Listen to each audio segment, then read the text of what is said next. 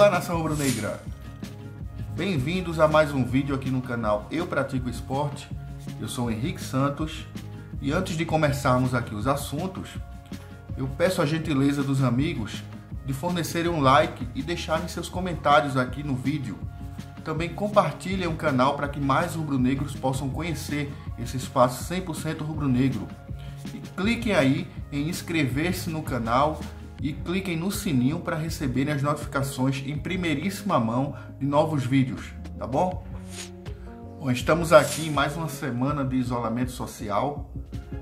É importante né, a gente respeitar nesse momento todas as recomendações da Organização Mundial da Saúde e do Ministério da Saúde, tá bom? Para que a gente possa enfrentar esse período difícil é, com menos é, consequências graves possíveis, né? Então é importante que todos nós façamos nossos papéis como cidadãos, tá bom? Então, passando aqui para os assuntos que a gente tem nessa semana, separei aqui alguns assuntos para a gente comentar rapidamente, né? Dar umas pinceladas aí para que o vídeo não fique muito longo. E vamos começar aqui com um assunto mais recente, que é a saída do diretor Nelo Campos. Saída essa que a gente lamenta bastante, né? Alega o Nelo motivos particulares e, profissionais, uh, mas é, evidentemente, né, há muitas coisas aí nos bastidores que a gente não fica sabendo 100%, né, mas a gente já vinha percebendo que o Nelo já estava afastado, né, desde o episódio da contratação do Daniel Paulista para ser o treinador, né? E o Nelo realmente já não vinha falando com frequência na imprensa, ele já não vinha é, à frente de algumas negociações com protagonismo, como a gente observou, né? É, até o iníciozinho desse ano. E certamente é, esses motivos que o Nelo alegou, né, ou outros motivos que ele, no seu direito de privacidade, não alegou, o fez se afastar um pouco é, desse protagonismo no colegiado diretivo do esporte, tá? Então é com muito pesar que a gente é, recebe essa, essa informação, porque o Nelo, creio que era um dos maiores promissores, né, para o futuro aí é, da direção rubro-negra e quem sabe um dia, né, pode vir acontecer ainda, até o Nelo se candidatar à presidência do clube, né?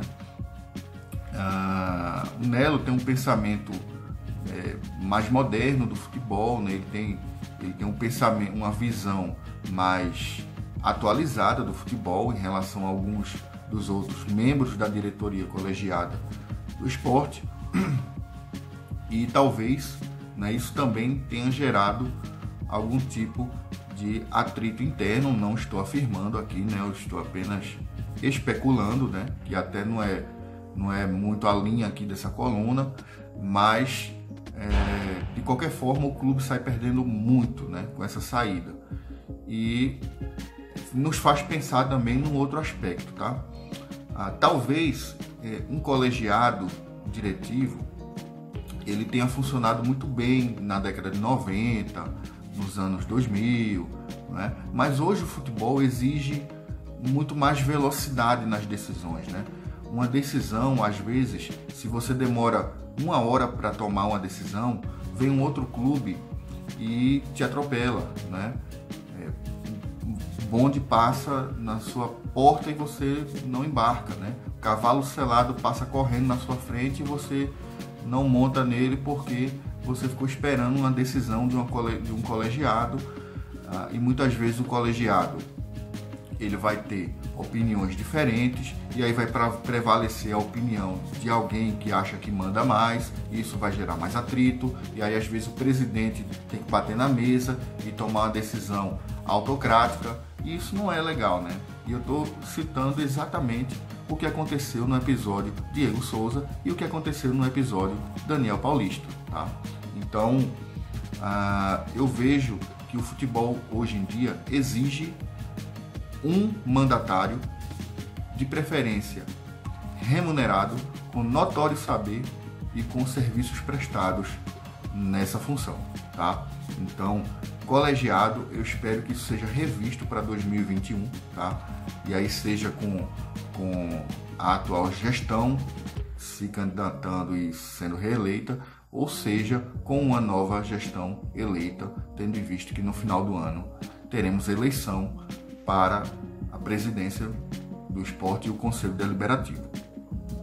É, dessa maneira, é, vejo que centralizando as decisões numa pessoa de notório saber conhecimento de serviços prestados e que é remunerada para isso, fica mais fácil você identificar onde está o erro no futebol. Tá? É, vejam, por exemplo, o exemplo do Atlético Mineiro. Né? O, os resultados não estavam vindo, acabou culminando na eliminação da Copa do Brasil para o Afogados, foram eliminados também na, na Copa Sul-Americana, né? É, e o presidente demitiu o diretor remunerado, pronto, ponto final, contratou outro e vai tocar. No caso do esporte, que é uma diretoria colegiada e, e, e, e é um papel amador, né? porque ninguém é remunerado, todos são abnegados, e a gente não deixa de reconhecer os serviços prestados ao clube por cada um, mas eu não estou me referindo ao indivíduo, eu estou me referindo ao modelo de gestão. E colegiado, para mim, é uma coisa ultrapassada, tá? Eu acho que o esporte tem que é, voltar a ter um executivo de futebol. Até tem, né? O Lucas Drubski, mas o Lucas Drubski é praticamente subordinado a essa diretoria colegiada, né? Quando deveria, no máximo, ser o inverso. Se você quer ter um colegiado, que ele seja subordinado ao diretor remunerado, né? Não, não o que acontece na prática hoje no esporte. Então, é, essa é a nossa opinião, tá? Que para 2020, não sei se para esse ano ainda dá tempo com toda essa, essa, essa situação que a gente está passando, ninguém sabe nem se vai ter futebol ainda esse ano, mas para 2021, né? Caso as coisas voltem ao normal, é, que seja revista, né? Essa questão de se ter um colegiado, né? Eu, eu tenho uma opinião que, que sou contra, eu prefiro um diretor remunerado e com responsabilidade, né? de quem é remunerado, tá bom? Passando aqui para o segundo assunto. Ah, e mais uma vez, desejar boa sorte para o Nelo, né? Que ele possa é, resolver todas as situações particulares profissionais e que um dia volte para o clube, né? Quem sabe até como esse diretor remunerado ou até como presidente do clube, tá bom? Boa sorte, Nelo. É, um abraço e até breve. Então, é, passando para o segundo assunto, é a questão do André, né, com o Sporting de Portugal. Situação que talvez seja a maior preocupação da, da direção, do presidente do clube, porque caso o Sporting não pague a, a, a parcela que deve, né, em torno aí de 5 milhões e meio ao Sporting, é, até o dia, até abril, né, até meados aí de abril, é, a FIFA poderá punir o esporte com até três é, anos sem poder inscrever jogadores. Tá? Isso significa que, caso o esporte venha a ser rebaixado, ele não poderá contratar para a Série B. Tá? Caso o esporte venha a ser rebaixado da Série B para a Série C, ele não poderá contratar jogadores para jogar a Série C. Tá? E e esse tipo de, de punição é praticamente você condenar o clube a três rebaixamentos seguidos. A gente tem que encarar a realidade, porque você jogar com um time todo da base, você vai entrar né, no campeonato é, praticamente é, favorito ao rebaixamento, seja ele Série A, B ou C. Tá? Então, realmente é uma situação que precisa ser resolvida, o clube precisa é, inclusive, se realmente for necessário, se desfazer de ativos, tá? Penhorar ativos do clube, porque é muito melhor você perder uma parcela do seu patrimônio do que você sofrer uma condenação dessa, tá? Mas como a diretoria do esporte está confiante, já diz que tem algumas operações para resolver essa situação junto, junto à CBF, junto a, a colaboradores, né? creio né, que a diretoria já tem alguma algum plano, alguma estratégia para resolver essa situação, tá? Ah, se fala aí em empréstimos de, de abnegados, o esporte, é, creio, estou né? acreditando na palavra da diretoria que já tem algo engatilhado, né? A diretoria esperava prorrogar esse, esse prazo, a FIFA não se manifestou, né? não, não, não votou, não opinou favoravelmente a essa prorrogação, então o esporte realmente tem esse prazo para quitar esse, esse débito. Né? E se alega assim, ah, mas a gente está com o futebol parado, então a FIFA deveria prorrogar, mas vamos pensar também, né? O esporte também está parado e também está precisando de dinheiro, né? Então seria muito difícil eles abrirem mão esse dinheiro é, nesse prazo, principalmente considerando que lá também né, as coisas estão paradas, tá? Ah, então esse é o segundo assunto é, que a gente vê com muita preocupação, mas confiando que a diretoria rubro-negra é, irá resolver essa situação. Próximo assunto ah, é a questão né, dos, do, dos acordos é, com os jogadores né, a respeito dessa paralisação. Tá? Os clubes da Série B e da Série C já se reuniram e já definiram uma estratégia. Né, e os da Série A até, desculpa, até teve um movimento é, com alguns clubes da Série A para tentar fechar um acordo, né, mas é, os clubes foram liberados para a, a acordarem individualmente com cada atleta. Né? Também acho que essa não é a melhor estratégia, tá? E aí eu não sei é, realmente se isso, se isso partiu do, do, do, clube, se isso partiu da CBF, da Comissão Nacional de Atletas, né? Não, não, não tenho realmente um conhecimento é, 100% apurado a respeito disso, mas é muito melhor quando uma decisão vem de cima para baixo e é, com uma decisão assim que, que generalize, né? que uniformize é, para todos os clubes, né? Porque imagina agora a situação da diretoria do esporte.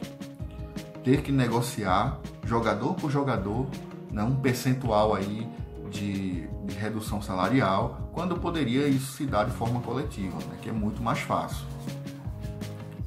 É, talvez aí um acordo entre CBF e a comissão de atletas né, é, fosse mais simples, simples para os clubes. Né? Ah, ficou definido que a partir de abril os jogadores terão 20 dias de férias né? e no final do ano, no início de 2021, os 10 dias restantes. Né? Ah, é o que se pôde fazer no momento, né? Eu até preferia que não fosse dado férias, né? Que se tivesse uma, uma outra solução mesmo, tá? É, porque você não, não tem como prever quando essa situação vai passar, né? E aí você dá 20 dias de férias e daqui a 20 dias a previsão é de que é, estejamos no pico da, do, de contágio aqui no Brasil. E aí os jogadores voltam de férias nesse pico. Então eu achei um pouco estranho assim esses 20 dias, né? Mas de repente foi uma forma que os clubes é, viram de antecipar né, esse período parado sem prejudicar o final do ano, né? Porque vai que também no final do ano os clubes estejam disputando campeonato estadual, com Série A virando o ano, e aí você fica sem ter espaço para dar férias aos jogadores, né? Também é um contraponto a essa visão que eu trouxe antes. Então é uma situação difícil, tá? E, e as decisões que foram tomadas, eu acho que tem que respeitar, primeiramente, respeitar as recomendações da OMS e do Ministério da Saúde, né? E, e, e de forma secundária, tentar equilibrar as finanças do clube com a situação dos jogadores e também sem esquecer dos funcionários do clube. Né? Esses, esses realmente não aguentam passar é, um período maior sem receber nenhuma remuneração. É, inclusive, se eles puderem ser poupados dessa, dessa redução, é, seria o ideal. Tá? Ah, então é isso, né? Negociar individualmente com cada atleta pode gerar um ruído aí entre os próprios jogadores. Ah, por que, que, por que, que tiraram 20% meu e 25% seu? Né? Pode gerar esse tipo de ruído quando uma decisão uniforme e vindo de, de cima para baixo seria muito mais fácil para os clubes, né? E foi isso que os clubes da Série B e da Série C é, fizeram ou estão tentando fazer. Né? Ah, opinião nossa da semana passada, que campeonato estadual e regional deveria ser cancelado, eu mantenho, tá? Mantenho. Eu acho que interesses comerciais, econômicos, tem, tem, mas estamos passando por algo de força maior, né? E é preciso ter essa compreensão. Em um ano, um ano sem essas competições, sem finalizar essas competições, não vai destruir ninguém, tá? Não vai falir ninguém, né? Então a gente pode enfrentar isso, pode, podemos passar por isso, tá? Ah, e acho que a saúde dos atletas, das pessoas, dos funcionários, dos dirigentes, é, precisam estar em primeiro lugar, tá? E economicamente aí as coisas vão se ajustando, né? É, desde que haja esse, esse, apoio mútuo, né? E, e, os organismos responsáveis também assumam essa responsabilidade e adotem decisões que uniformizem é, para todo mundo ter essa diretriz de ação. Bom, e era isso que a gente tinha para comentar essa semana. Desejar aí uma boa semana para todos vocês, reforçando aí a necessidade, tá, de todo mundo se cuidar, cuidar dos nossos pais, dos nossos avós, dos nossos tios, tias, né? E seguir sempre as recomendações aí é, dos, da ciência, dos especialistas, né, do Ministério da Saúde, da OMS a gente vai passar por essa, tá? E o importante é que a gente faça o nosso papel de cidadania, tá bom? Então, forte abraço e até a próxima!